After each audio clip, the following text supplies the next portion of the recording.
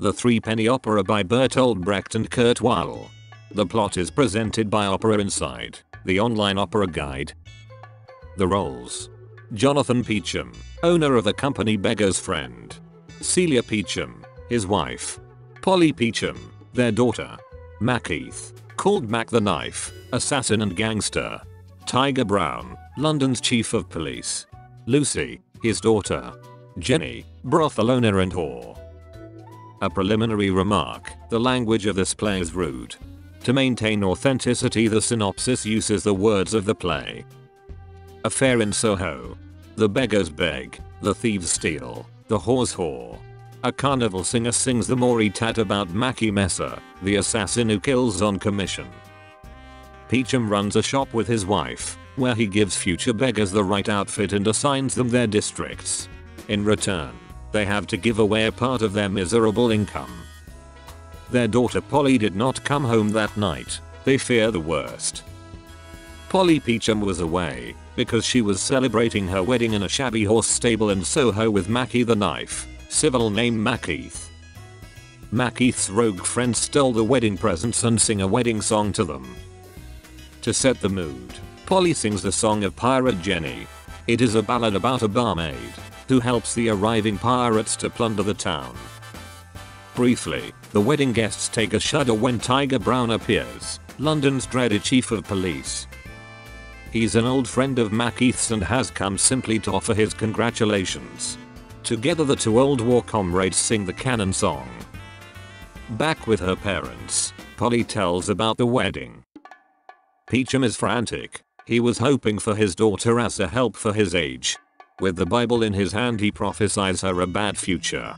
He warns her that the world is poor and now Peachum is doing everything he can to put Macheath behind bars. He's even convinced Tiger Brown to arrest his friend.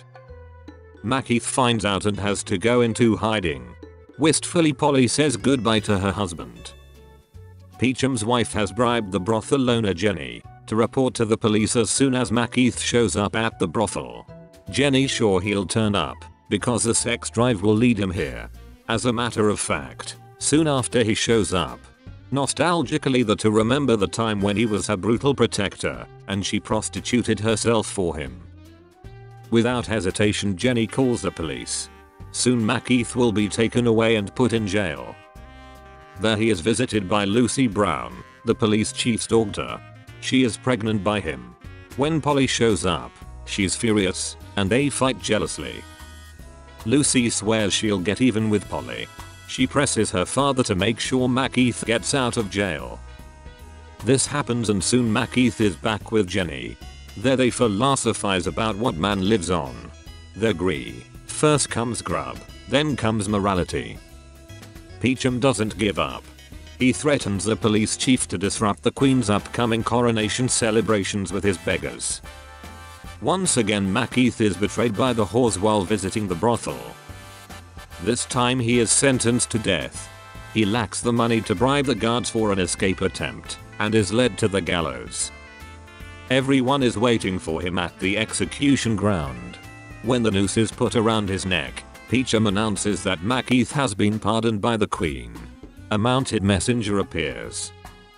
He announces that on the occasion of her coronation, the queen has decided that Macheath should not only be granted freedom, but also be granted a title of nobility, an appanage and a castle.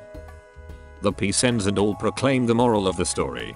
Let's fight injustice, but in moderation, for it will freeze to death if left alone. www.operaInside.com. All about operas. Learn more about this great opera. With interesting facts and great YouTube videos. Visit us.